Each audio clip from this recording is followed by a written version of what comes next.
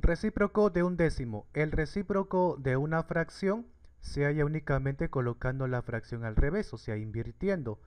10 que estaba abajo ahora va a estar arriba y el 1 ahora abajo.